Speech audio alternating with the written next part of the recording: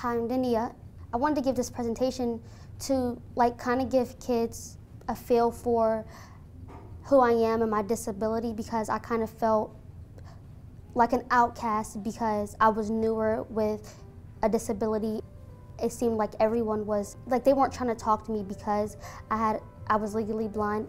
I wanted to clarify certain things like just because I can't see that doesn't mean I can't hear or I don't have feelings.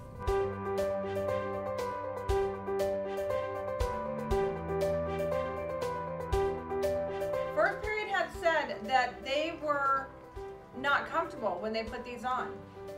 And I said, do you think that she's comfortable? The most challenging thing about every all this is trusting people to help me. I'm really into fashion like I love to put outfits together. I really love math, like I'm really good with math. Keeping numbers in my head like it's my specialty. I like to watch Love and Hip Hop, um, Empire, SpongeBob, all the kids shows. I still watch PBS Kids. I'm so energetic. I'm hyper. When you get to know me, I talk, talk so, so much. And I'm so loud. And yeah, and I ride bikes still. I play basketball.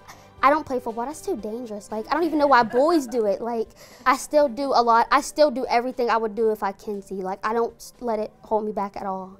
I just want to keep good grades so I can go to a good college, so I can open businesses like I want to, and be just an inspiration to people who have disabilities. Let them know, like, just because you have a disability, don't let that hold you back, because you can do whatever you want to do.